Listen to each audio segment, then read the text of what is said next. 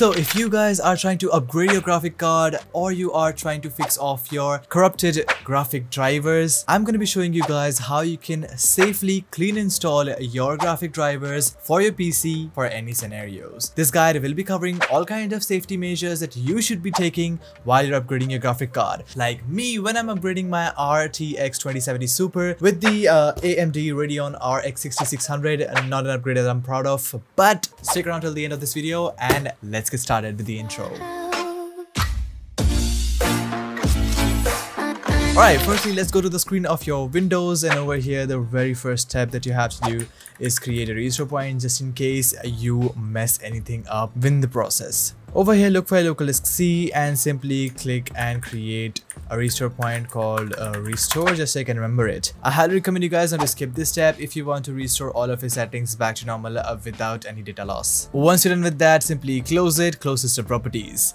Next step is uh, downloading a DDU. I'll be leaving a link to this down in the description below. DDU stands for Display Driver Uninstaller and here is how it works. Over here you will find all of these files. You cannot use it right away what you have to do is press on your Windows key and then click on power and over here select restart but before clicking on this press shift on your keyboard and then click on restart. This will ask you to choose an option over here and what you have to do is click on troubleshoot. Then click on startup settings over here and then you want to enable safe mode. Click on restart over here. What this will do is this will basically boot up your PC in safe mode.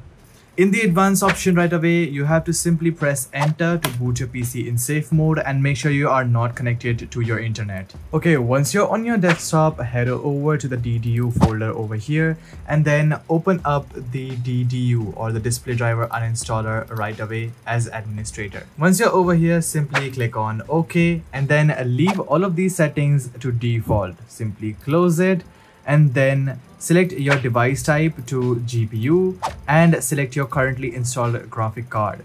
My currently installed graphic card is right over here that is the RTX 2070 Super.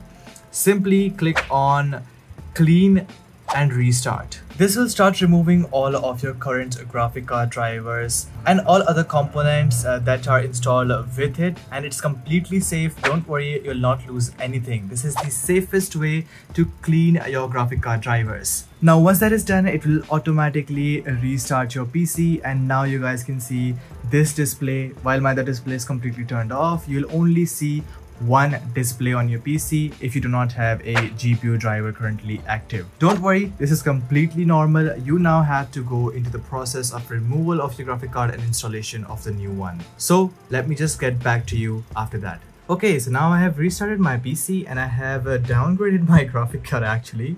As you guys can see right over there, I have installed it and I have given it the power and everything and now we can move to the screen again. Okay, once you're in the desktop, you can see everything would be lagging if you're using a moving desktop like me.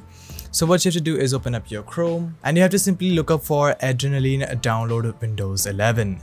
This will take you to the AMD website. Simply go over to there and then click on download Windows drivers. Once it is done, simply open it up, click on yes and then click on install. This will simply check your PC's hardware for driver and software compatibility so let it run. Okay, now you guys can see that it has found my graphic card and over here it gives me an additional option. Make sure that you always select full install and not any other thing. And once you're done with that, click on no over here because this will constantly run a process in the background. But after that, click on next. AMD privacy view, you do not need that. Click on install. It will ask you to download all of these drivers I highly recommend you guys to go with all of them. Do not leave anyone over here. Click on install. All of them are really essential in order for your graphic card and your display to perform better. It will install the chipset drivers and everything. Give it a while and let it do the job. Okay, now once all of your drivers are completely installed, it will ask you to restart your PC and once you've done that, you will be now on a screen like this.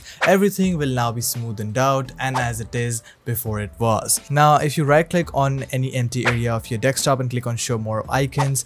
Over here you'll find AMD software. Now once again this will open up the software in front of you and there are a lot of complicated settings that you guys can do if you are a gamer. So here is a quick setup guide if you guys want to move along with this one. You can simply do all of this thing. I am not going to be doing it right now. I'll be making a separate guide for the best AMD settings. So if you guys want that, subscribe to the channel and press the bell icon because that is going to be a video right after this one. So guys, that was it for this video. I hope I could have helped you out. If I could have, make sure to do leave a like and smash your subscribe button. Also, we have channel membership that you guys can see right on the screen. And if you guys are not a part of the membership yet, consider getting it because it really supports me out.